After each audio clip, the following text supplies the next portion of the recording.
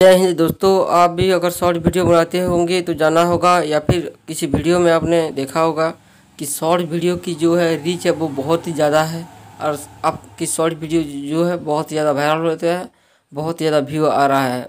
बाकी वीडियो के मुकाबले शॉर्ट्स वीडियो में ज़्यादातर व्यू आते हैं। दोस्तों, मैं कुछ वीडियो के एनालिटिक्स यहाँ पर आपको दिखा रहा हूँ जो रीच बहुत ही ज़्यादा गया है।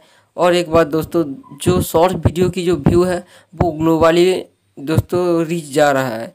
मतलब आपकी जो शॉर्ट्स वीडियो है, यहाँ पे आप देख सकते हो। जो है दोस्तों, बहुत ही, बहुत देशों में आपकी व्यू जो है शो किया जा रहा है। एम पी इम्प्रेशन भेजा जा रहा है बहुत सारे देशों में। मतलब आप इंडिया की बाहर की जो देश है, वहाँ पे भी आपकी वीडियो पहुँचा जा रहा है और वहाँ से भी आपकी व्यू आ रहे हैं।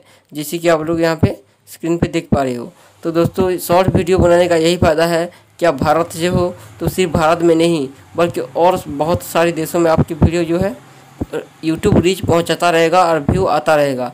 इसी तरह एनालिटिक्स में यहाँ पे आप देख सकते हो, अगर आपने भी शॉर्ट वीडियो बना होगा तो वो वहाँ पे आप जाके चेक कर सकते हो, ये भी आपके साथ हो रहा होगा।